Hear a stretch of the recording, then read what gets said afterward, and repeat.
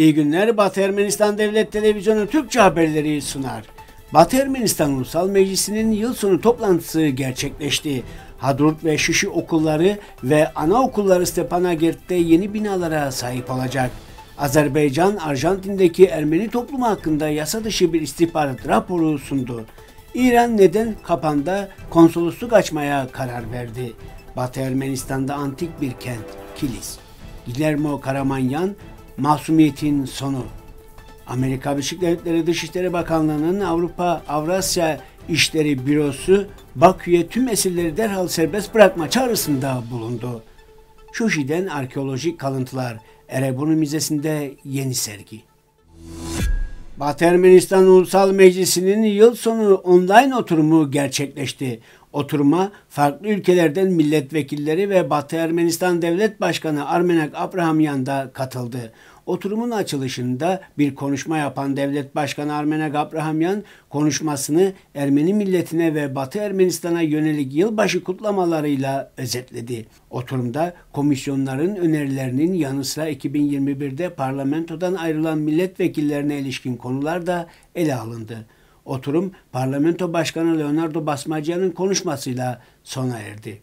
Parlamento Başkanı Batı Ermenistan milletvekillerini, Batı Ermenistanlıları ve Batı Ermenistan Ermeni halkının yeni yılını tebrik etti. Artsakh Devlet Başkanlığı Ofisi tarafından yapılan açıklamaya göre Arayik Arutünyan, Şuşi ve Hadrut'taki bir dizi ortaokulun ve müzik okullarının personelini makamında kabul etti.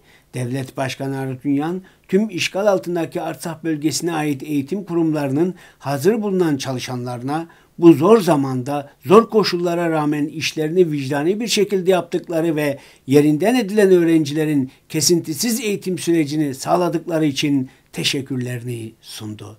Artsakh Devlet Başkanı Aray Garutünyan 1 Eylül 2022'den itibaren Hadrut ve Şuşi'deki okul ve anaokullarının başkent Stepanakert'te yeni ve ayrı binalara sahip olacağını kaydetti. Öğretmenlerin gelecek ve güvenlik konusundaki endişelerini yanıtlayan Devlet Başkanı Arutünyan, Arsa halkının ve yetkililerin Azerbaycan'dan asla herhangi bir statü kabul etmeyeceğini ve ülke güvenliğinin savunma ordusu ile Rus barış gücü tarafından sağlanacağını vurguladı.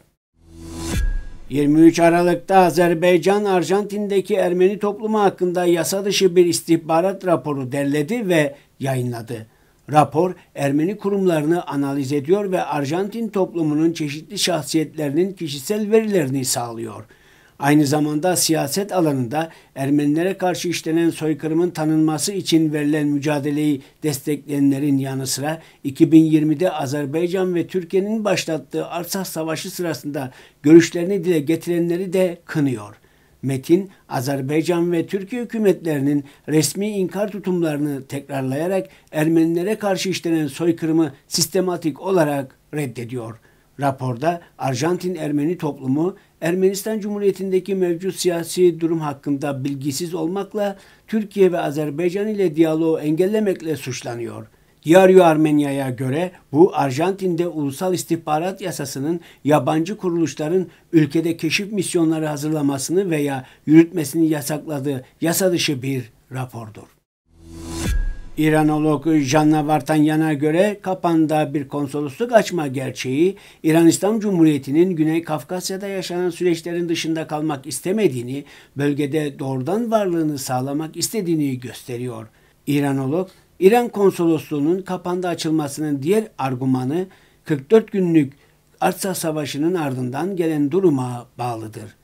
İran'da yetkililere yapılan Güney Kafkasya'yı görmezden geldikleri yönünde çok ciddi eleştiriler vardı diye belirtti. Vartanyan'a göre konsolosluğun açılması kısmen Sünik bölgesinde Nahçıvan'a bir koridor açmak isteyen Azerbaycan'ın Ermenistan Cumhuriyeti İran sınırının güvenliğini bir ölçüde bozabilecek istekleriyle bağlantılı. Bu nedenle İran tarafının sık sık o ülke ile Sünik arasında ortak programlar uygulama ihtiyacını gündeme getirmesi tesadüfi değildir. Batı Ermenistan'ın Kilis kenti Antep'e 55 kilometre, Suriye sınırına 10 kilometre mesafede bulunan milattan önce 1700 yıllarda Hitit devletinin önemli kentlerinden biri olan ve daha pek çok uygarlığa ev sahipliği yapmış kadim bir kent. İnsanoğlunun yerleşik hayata geçip toprağı işleme döneminden itibaren kesintisiz olarak iskan görmüş Babil, Hitit, Hurri Mittani, Arami, Asur, Roma, Bizans, Memluk ve Osmanlı olmak üzere pek çok uygarlığa beşiklik etmiş bir kent.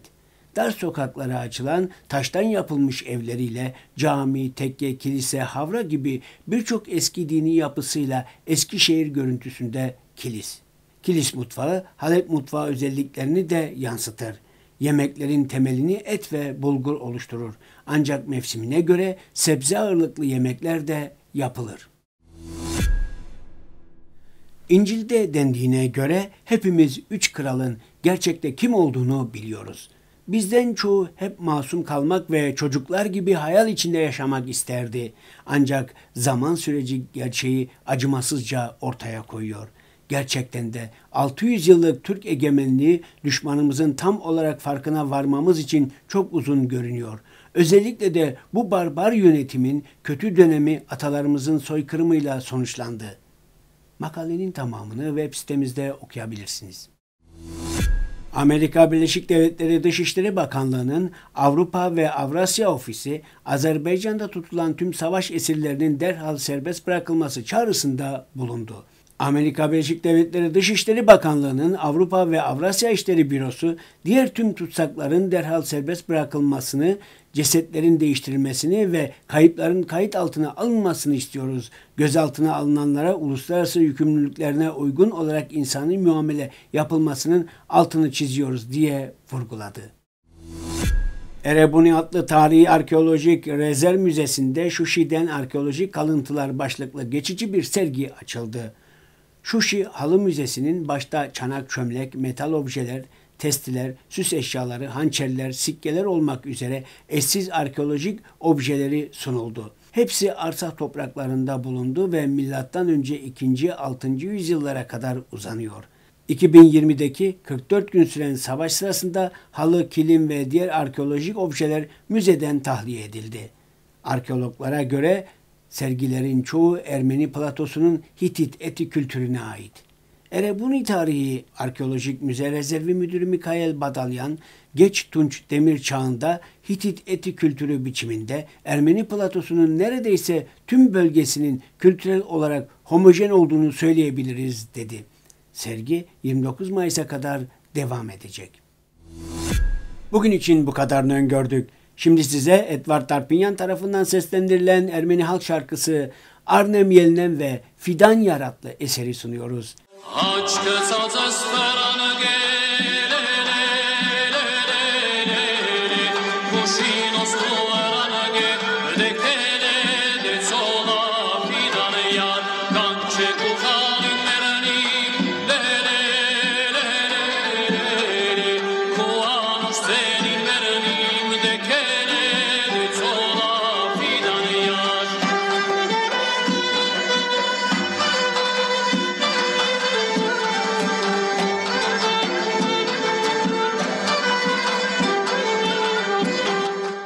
Eserin tamamını Batı Ermenistan Devlet Televizyonu'nun resmi sitesinden izleyebilirsiniz.